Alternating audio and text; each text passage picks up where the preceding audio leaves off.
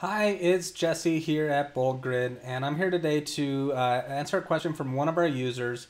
Uh, Mohammed would like to know um, how he can create an, a video that auto plays and loops. Um, so Mohammed, I'm going to show you how to do that. Um, you mentioned that you wanted a, a, method to do it without any coding. Um, I'm not aware of a way to do this without coding. There are a few plugins um, that I found that claim to allow you to set your videos to autoplay, um, but in my testing I couldn't get any of them to work. Um, so it's going to take a little coding, but it's not too tough. I'm going to show you how to do it. I'll walk you through. So um, I'm editing the page where I would like to have my auto playing video.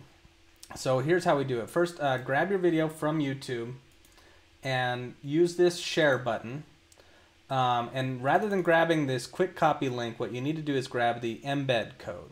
So click on embed and um, click this copy button right here. Um, it's right behind my head, so I'll just I'll move over and show you the copy button right there. Um, and head back over to your page.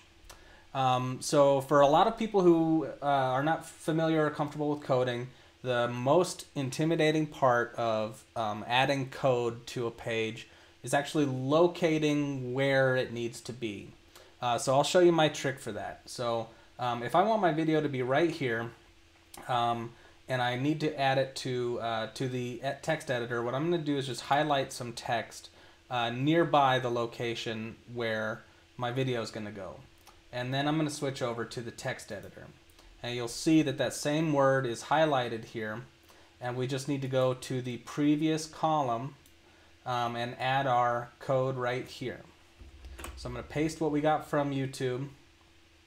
And then um, here's the part where we're going to do some some fancy stuff. Um, so look for the SRC, the source URL, and this is the URL of the video that we're working with. And the important thing to look at here is the video ID.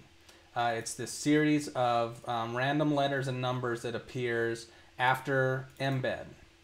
Um, so right in between the video ID and this quotation mark, this is what we're going to add. We're going to add uh, question mark autoplay equals 1 ampersand playlist equals and this is the tricky part. So we need to grab the video ID if you're just looping one video you have to specify this playlist equals the video ID of the same video uh, if it's several videos, then your, your playlist will have its own ID and you use that. And then one more, ampersand loop equals 1. So we've got that. Delete this extraneous tag here. And um, what we've got now is we need to make sure that we have allow equals autoplay and this semicolon right here. So make sure that your code has allow autoplay in it. And then um, we can go ahead and save this page. And we can check it out on the front end. And we have an auto playing video. And if we head over to the very end of the video here, then we should see that it loops back again as soon as it completes. So 32 and it loops. So that is how we create an auto playing and looping video. Um, so I'm going to put the code uh, that was in there in the uh, description of this video as well as in the answer to your support forum posts.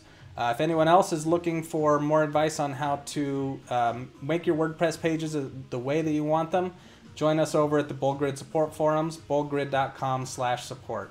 Thank you very much. Bye.